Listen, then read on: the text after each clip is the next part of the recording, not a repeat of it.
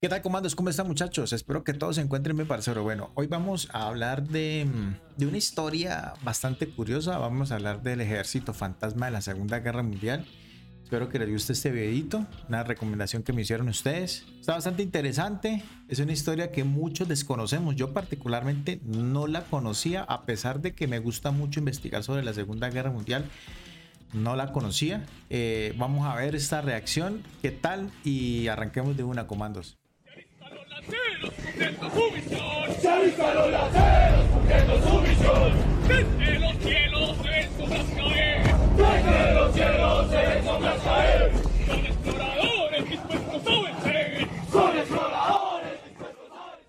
El arte de la guerra es el arte del engaño. Así lo dijo el general chino Sun Tzu. A lo largo de nuestra historia, hemos visualizado numerosos engaños en las guerras, estrategias, falsos movimientos, emboscadas, etc. Pero el más conocido, y por no decir el más importante de toda la historia, fue la genial idea de los americanos en crear un ejército fantasma que combatiera, entre comillas, en la Segunda Guerra Mundial. Dicho ejército fue una clara estrategia militar, basada en el engaño, y que, sorprendentemente, su actividad fue de vital importancia para las victorias de los aliados. Pero muchachos, ya saben, ahí en la descripción del video les dejo el link al canal y el link al videito para que vayan y dejen su apoyo. Eh, vuelvo y repito, esta historia no la conocía. A pesar de que me gusta mucho la historia de la Segunda Guerra Mundial, de pronto en su momento no, no, no, di como con la información, pero bueno, este video está bastante, está bastante entretenido. Y ahora te preguntarás, ¿ejército fantasma? ¿Cómo? ¿Eran soldados? ¿Francotiradores bien camuflados? ¿Fuerzas especiales? Pues no, nada de eso. Era algo mucho más imaginativo. Por ello, hoy veremos cómo este ejército, entre comillas, fue capaz de combatir y engañar a las fuerzas nazis durante la Segunda Guerra Mundial. Espero que te guste. Bueno, vamos a verlo, muchachos.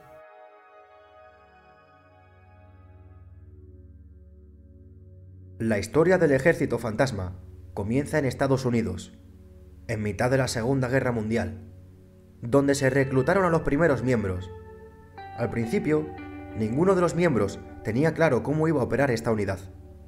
Estaban desorientados, ya que entre ellos hablaron y daba la casualidad de que la mayoría de sus oficios eran los mismos, es decir, habían juntado a mil soldados. Pero sus verdaderos oficios eran de ámbito artístico. Me explico. Todos ellos eran arquitectos, diseñadores, artistas, ingenieros, actores, etc. Estaba claro que el ejército de los Estados Unidos se traía algo entre manos, y al parecer era de alto secreto. Con el paso de los días, finalmente se reveló el propósito de este pequeño ejército. Su objetivo simplemente consistiría en el engaño. Veamos, el general a cargo de esta unidad les encomendó una misión que podría significar mucho en la guerra. Únicamente y exclusivamente tenían que fabricar tanques, vehículos, piezas, cañones, etc. Pero de mentira. A ver si me explico. El propósito era usar la imaginación para construir una similitud con un tanque real. Por ejemplo, un tanque hinchable. ¿Lo ves? Es de mentira. Finalmente aquellos soldados se dieron cuenta de su deber, el arte del engaño, simplemente crear estructuras móviles capaz de engañar al enemigo. Al principio, los primeros intentos de similitud fueron desastrosos. No engañarían a nadie. Sin embargo, poco a poco fueron mejorando y crearon vehículos exactamente iguales a los de verdad. Fíjate bien, aunque parezca mentira, estás observando un tanque hinchable. Sí, como si fuese un globo, un globo en forma de tanque. Aún así, con un engaño visual no bastaba, hacía falta algo más. ¿Y qué se les ocurrió? Fácil, el engaño sónico. Realizaron una serie de grabaciones diferentes, vehículos militares circulando, sonidos de un tanque, etc.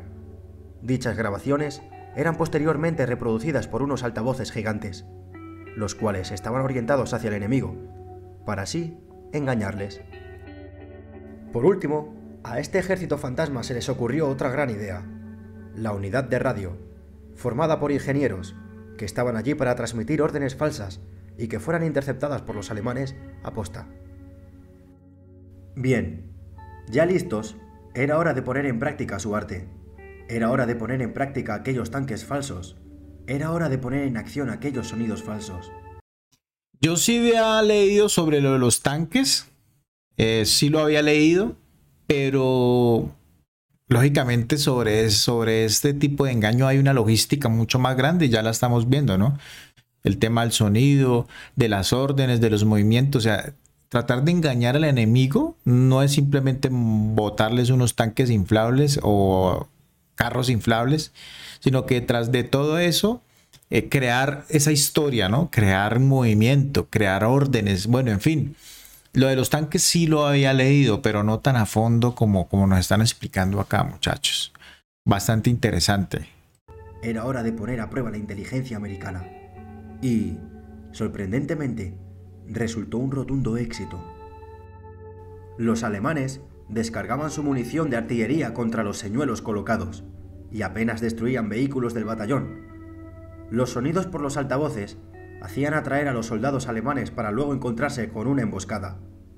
Las falsas órdenes por radio hacían movilizar al enemigo hacia un punto sin salida, lo cual era aprovechado por los americanos.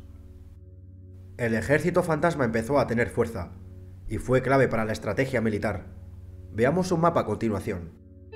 Aquí, la fuerza americana va a asaltar el puerto de Brest. Para ello, por los flancos colocaron al ejército fantasma, que se hicieron pasar por la sexta división acorazada, y atacar, entre comillas, por los flancos, distrayendo al enemigo, mientras que las auténticas fuerzas atacaban en un ataque frontal y directo, que acabaron con las fuerzas alemanas en un momento. Así trabajaba el ejército fantasma, con la inteligencia y el arte. Simplemente se hacían pasar por un ejército real y engañaba al enemigo, con falsos movimientos, con falsas órdenes y con falsos vehículos un hecho que volvió loco al ejército alemán. Imagínate, ahora cualquier orden interceptada por radio, aunque fuese la verdadera, era mirada como un posible engaño, algo que fatigó a los nazis. Ahora todos los alemanes no sabían por dónde iban a venir los estadounidenses. Cada sonido que se oía en lo profundo no sabían si era el verdadero o el falso. Cada tanque visto a lo lejos no sabían si era hinchable o verdadero. Esta gran confusión causó que la defensa alemana fuese débil y desorganizada, síntoma de la efectividad del engaño perpetrado por el ejército fantasma. Según estadísticas, esta unidad se retiró de la Segunda Guerra Mundial con un promedio estimado de 30.000 vidas salvadas. 30.000. Todo gracias a sus maniobras. Incluso algún general se atrevió a decir que fue clave para el curso y la victoria de la guerra. Estos hombres que formaban la unidad volvieron a sus vidas una vez acabada la guerra. Todos ellos continuaron dedicándose al arte. De hecho, estos hombres ocuparon un amplio rango de empleos, desde diseñadores de moda, ilustradores, pintores, fotógrafos, arquitectos, etc. Eso sí, todos ellos manteniendo el secreto de lo que hicieron durante la guerra, ya que era de alto secreto, hasta que sus operaciones fueron descalificadas en 1996, dejando al mundo la gran labor estratégica que hicieron. Por ende, también cabe decir que era una unidad muy peligrosa. A ver, recordar que en estos puntos que ves en el mapa estaban emplazados para engañar al enemigo. Pero alguien tiene que manejar las radios, alguien tiene que colocar los señuelos, alguien tiene que activar los altavoces para los engaños sónicos. Lo que quiero decir con esto es que se encontraban muy solos en cada punto de estos.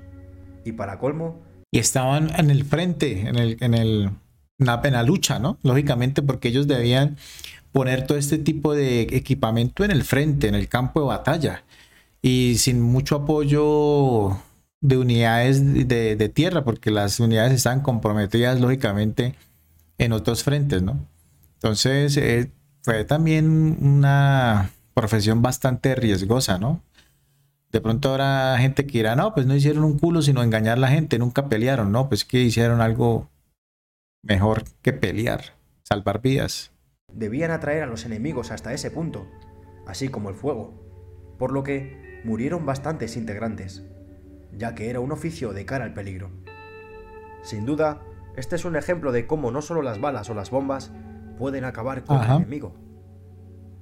Además, en 2013 la PBS hizo un documental sobre ellos, en el que explica no solo los movimientos militares, sino un poco sobre la forma de ser de los propios soldados, y anécdotas, claro. También hay una página web en la que puedes ver algunas de las obras creadas por ellos. Sin duda alguna, un acto de valor. Bueno, señores, eh, una historia bastante interesante, ¿no? Este tipo de ejércitos, bueno, yo sí había leído un poco sobre el tema que han utilizado tanques, carros inflables para engañar al enemigo, pero no tan a fondo de lo que vimos en este video, de las consecuencias que sufrían ellos, de cómo tenían que hacer este tipo de engaños, porque no es fácil engañar al enemigo en, la guerra, no es fácil tampoco, ¿no? No es que ah, yo me invento esto y los engaño. No, porque ellos también tienen su inteligencia, tienen sus espías, bueno, en fin, todo esto. Pero en su momento, lógicamente, pudieron, el, ejército estadounidense pudo eh, aprovechar este tipo de situaciones para poder engañar al ejército alemán y asestarle golpes de frente militares muy muy muy muy graves, ¿no? Que fue desmoralizando a la tropa, ¿no? Particularmente creería que no se utilizó en toda la guerra, sería algo ilógico pensarlo, no se utilizó en toda la guerra, pero se utilizó de manera estratégica para poder generar aberturas dentro del campo de batalla para que las tropas eh, americanas se pudieran mover. Yo lo que mm, he leído sobre el tema es que se utilizó más bien para engañar al ejército nazi o al ejército alemán, más bien, eh, para mm, engañar al ejército alemán sobre el traslado de las tropas, para que no fueran bombardeados, para poder llegar a sitios seguros, ¿no? Para eso se utilizó más que todo este tipo de estrategia de engaño. Ya en el frente de combate eh, no se utilizó tanto, pero pues en algunas batallas como vemos ahí que nos explicaron se utilizó. Espero les haya gustado muchachos este videito, ya saben, si son nuevos en el canal, suscríbanse, compartan, dejen el like y nos estamos viendo y viendo uno próximo, comandos. Chao.